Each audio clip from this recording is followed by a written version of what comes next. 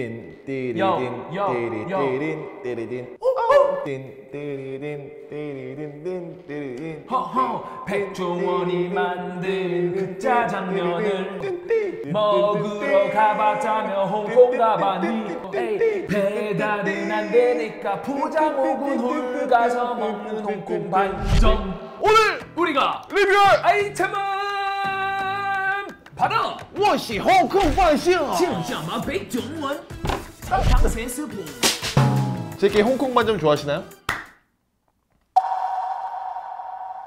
또 혹시 추억 있나요 거기? 나던데 강남점 많이 갔었어요 나던데 어쨌든 국민적으로 사랑받고 있는 홍콩 반점 과연 탑3 몇 명이 투표해 주셨는지 한번 알아볼까요? 약 천여 명 그럴까? 제가 지금 얼핏 봤거든요 우리가 흔히 상상할 만한 그겁니다. 여러분들 상상 속의 TOP3 그럼 TOP3부터 갈까요? 자, 죄송합니다. 보너스부터 갈게요. 보너스. 몸풀기로 군만두랑 해물 육교자. 참고로 군만두는 홈페이지에 설명이 있는 게 일반 짜장면집에서 덤으로 주는 어설픈 군만두가 아니라 홈페이지에 진짜 다른 집에서 주는 어설픈 그걸 적어놨어요? 네, 자, 정우 씨가 요즘 좀 그래도 호호. 강력하시네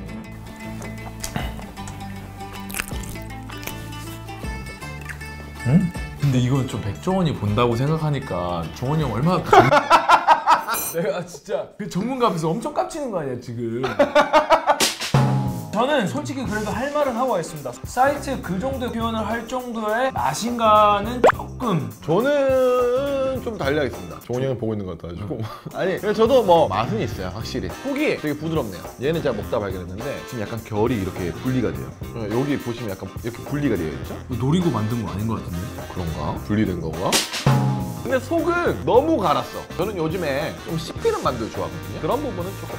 이게 얼마인가요? 4,000원이죠. 제가 4,000원에 홍콩 반점 그러면 열심히 갔습니다. 8개 정도에 4,000원이거든요 개당 500원이네. 싸다. 교자 한번 먹어볼게요 어, 얘가 그 원래 중국집 군만두 느낌이네요. ASMR. 미친놈.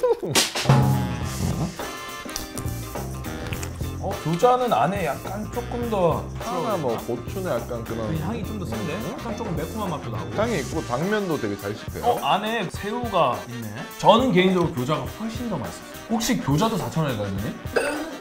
아, 솔직히 말해서 저는 조금 더 풍미를 즐기고 싶다면은 교자 만두가 더 맛있어요 어.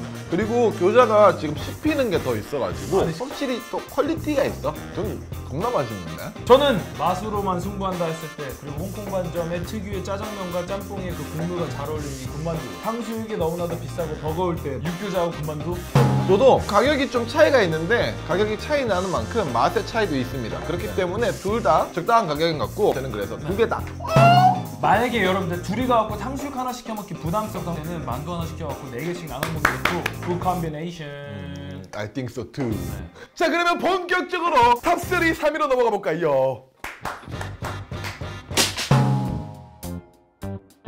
자 3위 짜장면입니다. 와. 근데 나는 짜장면 이 적어도 2위 정도 할 줄 알았는데 뭐예요? 하긴 홍콩 반점은 또 네. zen봉이기 때문에 근데 저는 사실 홍콩 반점 짜장면은 안 먹어요. 홍콩 반점 짜장면 맛집이에요? 그러니까 무조건 둘이 가면 짜장 하나 짬뽕 하나 시켜야 되잖아 아 그래요? 어? 근데 홍콩 반점에 쟁반 짜장 있는데? 차가운 냉면도 있고 나 홍콩 반점 전문가야 정원이 형 내가 까도 정원이 하지 마 아, 알았다. 정원이 형 보고 있나?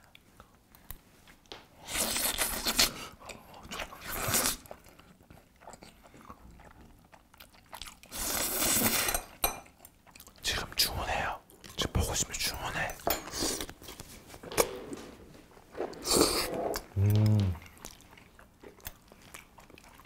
맛있 다. 기분 탓인지 모르겠지만 홍콩 반점 짜장면에는 그 춘장의 맛이 조금 더 느껴진다고 저는 생각을 하거든요. 어, 나도 맛 없는 줄 알았는데 되게 맛있네요.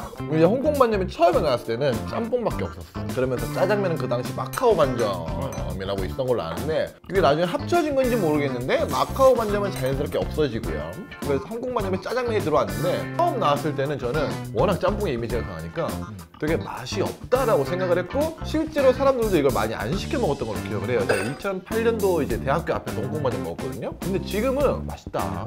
얘 가격이 4,500원 정도 하죠. 난 다 알아.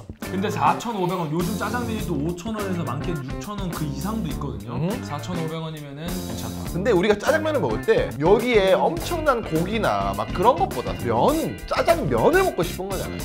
괜히 고급화 해가지고 너무 비싸게 파는 것보다 저는 지금 돼지고기 식감도 있으면서 적당하거든요. 그러면서 지금 이 정도 4,500원이면은 저는 진짜 홍콩 반점은 칭찬받아 마땅하다 생각합니다. 저는 호호 드리겠습니다. 저는 그래서 4,500원 가격 대비 그리고 맛 대비 호 하겠습니다. 와우! 그럼 2위로 한번 넘어가 볼까요? 아 역시 속재료가 이게 곱빼기인가요 누나? 곱빼기 아니고 아니야? 일반이죠. 제가 예전에 만나는 분이 있을 때는 나오면은 이렇게 다 까줬어요. 이렇게 홍합을 다. 사귀는 거 아니니까 네가 까주세요. 아안 먹어요. 아 배고픈가 봐요 많이. 이 게 님들 식사하지 마세요. 와 죄송합니다. 사실 저희가 지금 상의 맛에 대한 리뷰는 안 할게요. 왜냐면 제가 테이크아웃이기 때문에 원래 먹는 맛이랑 다를 수밖에 없죠. 그냥 원래 맛에 기반으로 해서 한번 얘기를 해볼까요?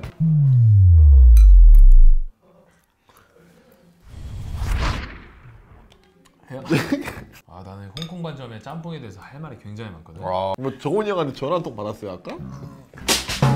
자 일단 저는 딱 먹었을 때 기본적으로 우리가 알고 있는 짬뽕과는 조금 다른 점이 있어요. 어허. 들어가는 이 속재료, 흰 홍합이나 오징어가 굉장히 시원한 육수를 만들어주고 거기에 여기 굉장히 많은 배추와 채소가 들어있기 때문에 채소에서 나오는 그 특유의 단맛이 홍콩 반전 짬뽕의 큰 매력이 아닐까. 제가 생각하는 중요한 포인트 중에 하나가 약간의 불맛이 나거든요. 와. 불맛이 느껴져요. 자, 한번 더 먹을게요. 전 짬뽕은 해산물이 많아야 된다고 생각을 하거든요. 그 리뷰를 봤는데 전반적으로 건더기가 빈약하다라는 평이 있어요. 생각을 해보니까 미안해. 형 진지하게 지금 와 범이 또 짬뽕밥 존나 좋아해. 저는 사실 짬뽕으로 시작해서 짬뽕 밥으로 요즘은 달리고 있어서 사실 짬뽕 밥을 시키면 면을 좀 줘요. 짬뽕 밥이 한 500원인가 더 비쌀걸요? 짬뽕이 5,500원이고 아. 짬뽕 밥 2,000원. 지금 사실 이게 뭐 세미 짬뽕 밥이긴 한데 홍콩반점 같은 경우는 짬뽕밥에 면을 또 같이 넣어주기 때문에 짬뽕밥을 시켜놓고 면을 좀 먹으면서 보통 같이 가는 친구들이 짬뽕을 좋아하는 친구들이 많거든요 그 친구들 면을 좀 뺏어가지고 먹으면 아주 기깔나는 조합이 될 수 있습니다 경범아, 예? 너 여기 정말 자주 간다. 잠시만 자 그럼 가격 들었으니까 호불호 한번 달려볼까요? 솔직히 말해서 아쉬운 부분부터 한 가지 얘기하고 싶은 게 아까 범이 얘기했었던 거랑 공통적으로 해산물의 양이나 혹은 그 속재료의 부족함이 좀 느껴지지 않나라는 생각이 좀 들고 저는 이 국물이 경범아 많이 배고팠구나 좋아요 저는 이 국물이 너무 맛있어요. 이거는 매콤함보다도 약간의 달달함이 있어서 저는 백종원 씨가 개발하고 만든 홍콩 반점 짬뽕 완벽한 호입니다. 완호. 저도 이거 호 하겠습니다. 가격 대비 이 정도 퀄리티 호 안 하는 건 정말 나쁘지 않죠. 하지만 홍콩 반점 짬뽕이 세상의 모든 짬뽕이다라는 착각을 안고 살고 계신다면 당장 집 근처 중국집을 전화해서 삼선 짬뽕 한번 드셔보십시오. 여기까지입니다. 그럼 1위로 가볼까요?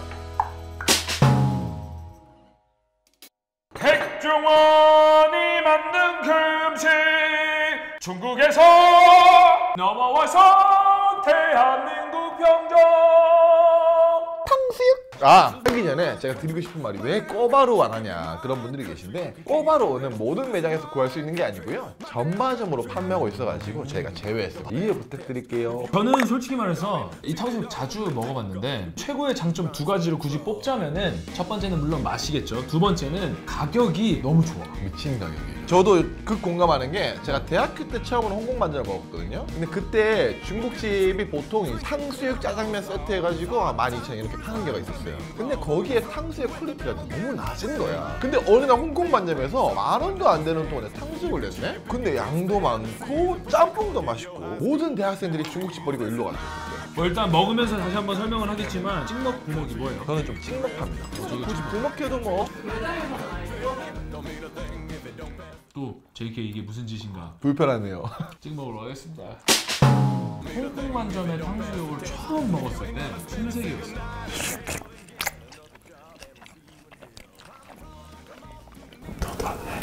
엄마랑 TV 나왔어.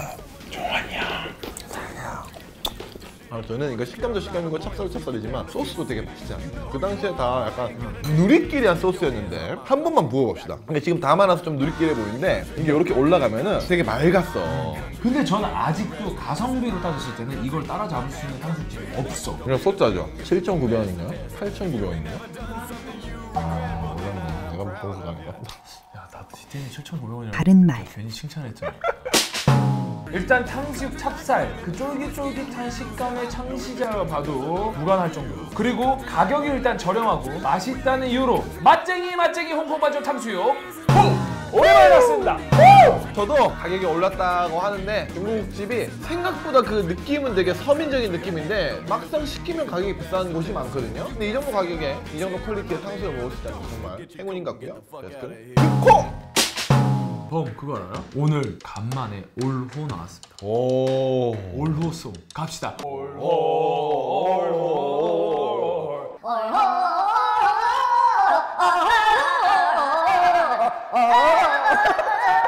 자, 홍콩 반점 올호. 그리고 지금 와서 문득 든 생각인데 백종원 형님이 아, 대학생들 좋아하나 봐 그런가? 그래요? 홍콩 반점도 대학생들이 많이 가고 한인 바자 대학생이 많이 가고 주머니 쌈짓돈 뺏었으네요. 저, 저, 저 아니에요 얘 하고 다음 주에 뵙겠습니다. 안녕. 여러분들 좋아요 구독 그리고 또 알람 설정 잊지 마시고 여러분들이 드시고 싶어하는 음식이 있다면 댓글 남겨주세요 팀브라스 투표는 매주 수요일, 일요일 유튜브 커뮤니티 탭에서 진행되고 있으니까 많은 투표 부탁드릴게요. 구독을 눌러야 투표 볼 수 있겠죠?